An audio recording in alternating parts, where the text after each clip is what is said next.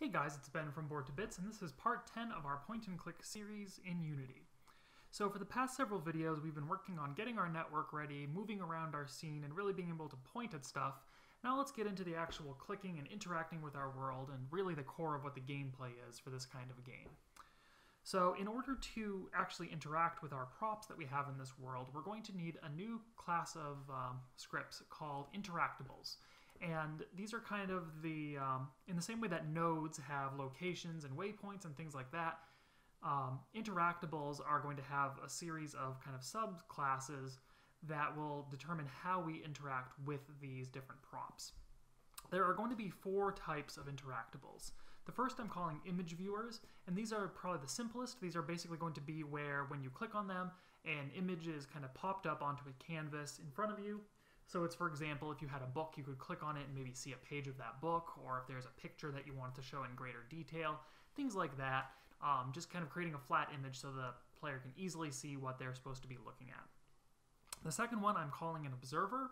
This is um, kind of the 3D um, analog to the image viewer in that you're going to, instead of seeing a flat image, you're going to see the 3D model, be able to rotate it, interact with it, manipulate it, maybe, you know, affect something on it but it's basically giving you a closer look at some prop instead of it just sitting on the table you can actually look around it and stuff. Third one is called the switcher. This is going to be things like um, buttons levers might actually be like a light switch or something anything like that that's going to affect other stuff throughout the scene. Um, this is going to be a little bit more of a complex one because we're going to have to start getting into the game manager and determining how all of our objects interact with one another. We're going to have to start saying, oh, when you hit this switch here, this light turns on over here, and how those things know that they're supposed to communicate with one another. And the last one we're going to do is called a collector.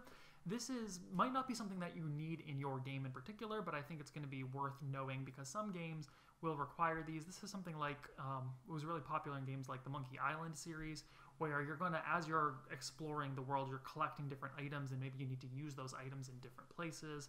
And so it's going to be kind of keeping track of what you have on you, taking stuff out of the scene, putting it into your inventory, bringing it somewhere else, using it there, things like that. This could be just as simple as you find a key and you need to use it in a door, or it become much more complex depending on what you're looking for in your game.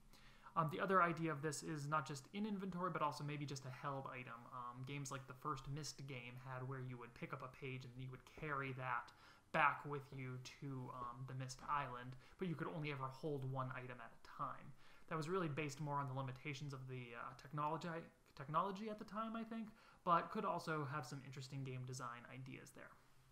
So over the next several videos, we're going to be looking at these different types of interactables. Today, though, we're just going to get our base interactable built and ready to go. So in order to start this, we're going to need a new type of um, component that we can add to our props. So for example, right now we have, if we go to our table, we have this blue cube here. Uh, we'll focus on that. And this blue cube um, has its prop script right now. We're going to add a new type of script to this, which is going to be the interactable. So what we're going to do is we're going to go into our scripts folder, and as we see right now, I've actually uh, done a little bit of organizing here. I created a camera folder that has the um, camera rig and the mouse POV controls in there, and then nodes, which is holding all of our node and location and prop information. Game Manager I'm keeping out right now because it's going to generally be, once we start building out our game, a much more important script, so I'm keeping that at the root level. So I'm going to create a new folder, actually. We'll create folder and we're going to call this interactables because we're going to have several scripts ultimately. Um, interactables ultimately going to be an abstract class that a lot of things inherit. But for now, we're just going to create the initial interactable script. So interactable. And we can open this up in MonoDevelop.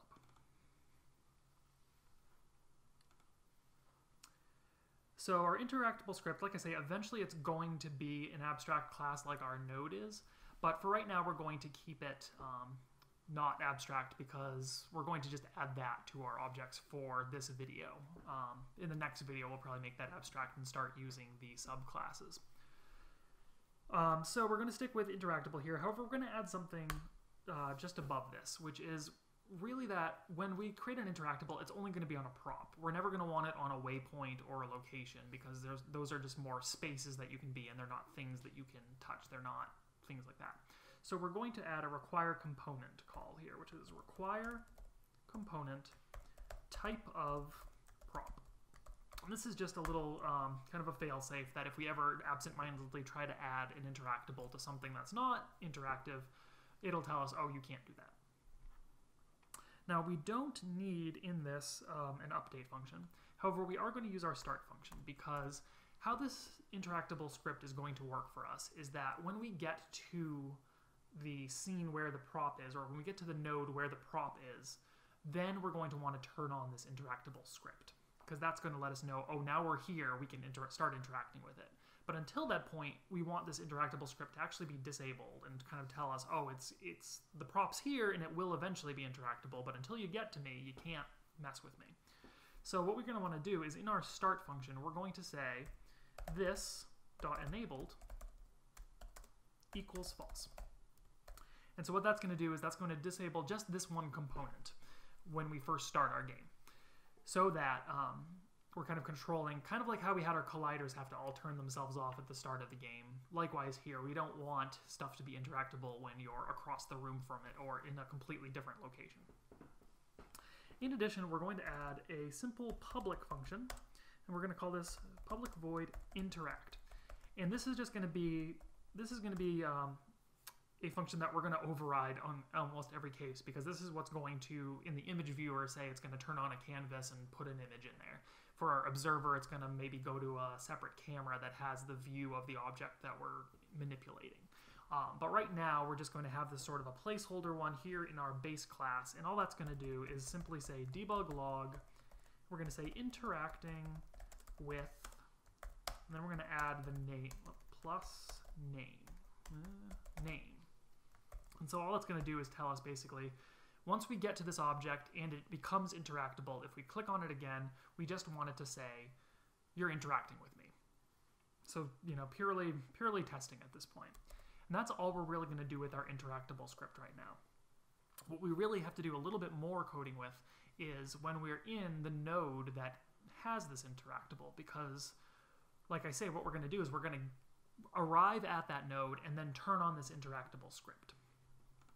So in order to do that, what we need to do is actually go, we need to write a new arrive and leave. Because right now we have in our node, when we arrive, we are setting the current node, we are um, moving the camera where it needs to be, turning off our collider, and turning on our reachable nodes colliders. Doing all those, all those things, which are all still important. But we want to do those, but then we also want to work with this interactable script. And we could do that in our node, but we know that locations and waypoints are never going to have an interactable script. So there's really no need to be doing it for every single node in our game. We only want to do it in our props. But we that means that we need to somehow alter this arrive and this leave script from when it's just a node to when we're in a prop. And the one, one way we're going to do that right now is we're going to add the word virtual to our arrive script and to our leave script. And what that does is says um, when we're in a node, we can still call arrive and leave, but there is a chance that we can override it. And that's what exactly what we're going to do in prop. So we're going to save that, and now we're going to go into prop, and we're going to say, oh, and make sure when you use virtual, you make it public as well, because if you just have a virtual script, um, there's nothing that can call on it to override it.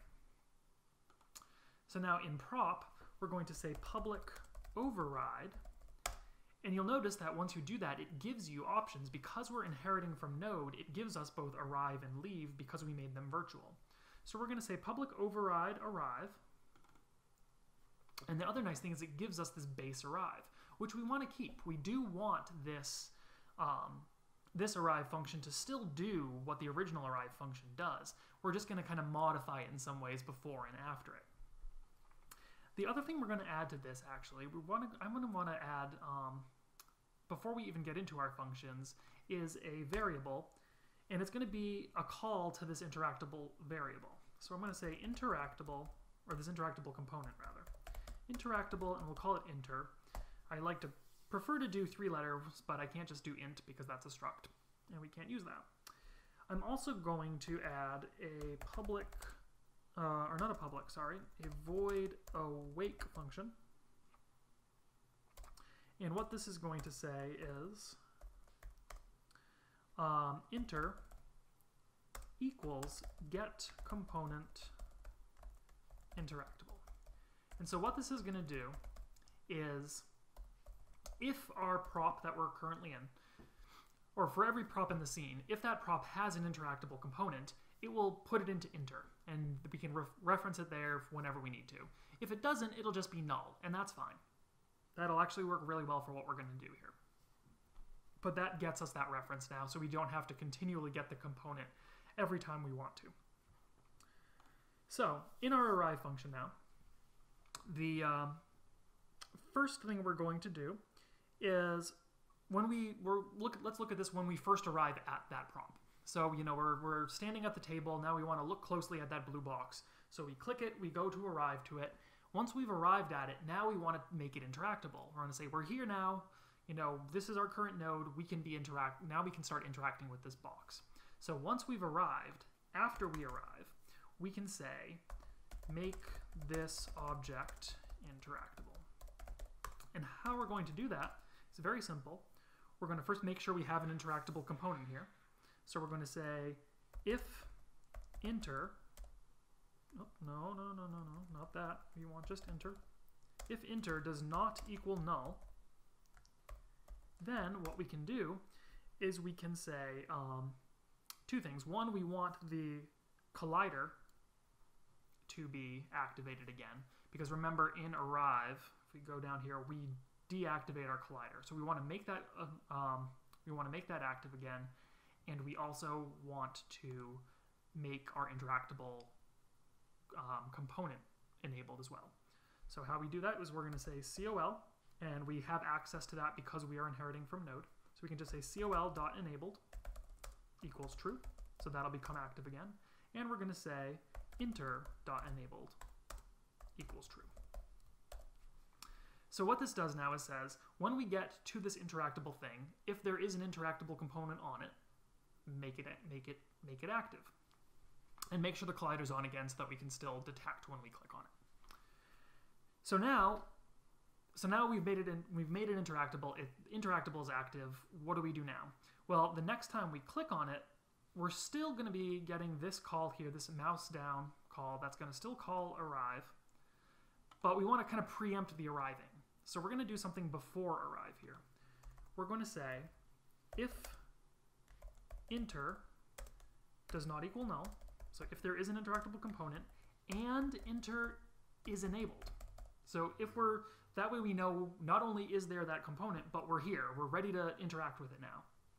And the nice thing is, if there isn't, if this is null, it won't even check this. So we're not going to throw any errors of, oh, you're trying to check something that doesn't exist. It's um, It'll check this first, it exists, and it's enabled. Then, instead of, instead of arriving, we want to go to our interactable and interact with it. So how we'll do that is we're going to say inter dot interact. And we're just going to return here. We're going to, if if we can interact, we can just leave. We don't need to do all this again because we've already done it. We'll hit save. And the only other thing we need to do here is we also need to do our leaving, uh, be sure that we turn off interactable when we leave. So we're going to go public override. And we get leave because we made that virtual as well. Keep base leave because we still want to do what we're doing when we leave it. But we're just going to simply say down here, in addition, if inter does not equal null, then we just want to make sure that inter.enabled is false. So we're going to turn it back off again. So now we can go back into Unity. And if we, let's click on our cube here, and let's make sure we add that component. So interactable, you can either you can either drag the script on or you can search for it. And so there we go. We've got it here, interactable. We will save our scene quickly and we'll hit play. And so when we start, we see that this has turned itself off. Right now, our cube is not interactable. if we then go to click on the table, we move to the table, and then we can move to the cube. Uh, that's doing something a little bit weird for us. We're saying variable of collider, variable collider of prop has not been, oh, and I know why that's doing that. Because node has its own awake function and I added a separate one here. So what this is just doing is actually just flat out overriding this. So what we can do, we can actually just make this a start function instead. And that's actually going to help us in a couple ways. Um, so this will still happen. On awake, we'll get the collider. And then on start, we'll get the uh, interactable component. Um, it's not the most efficient way of doing this. We should probably actually do another virtual and override, but for time saving sake, and one other reason is that if we have a start function here, we get this checkbox on our script, which um, I'll show you why that's important in one second. So we'll hit play. Okay, there we go. So now, um, now we have our collider on here. So now we go to the table. Now this is now, it's interactable, or it's not, sorry, it's, we can click on it, we have our collider, it's reachable, but it's not interactable yet because we're not actually at that prop.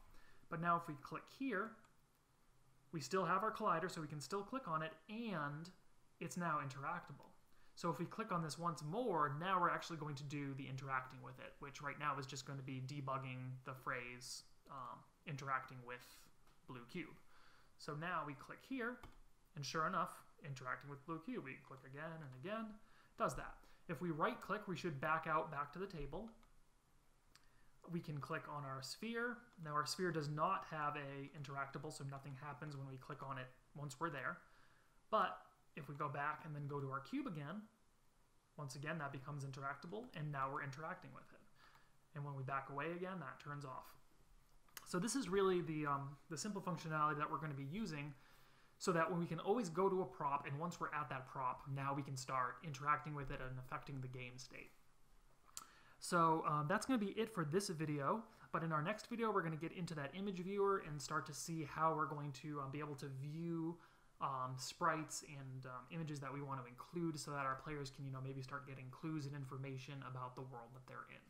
Thanks for watching, and I'll see you guys next time.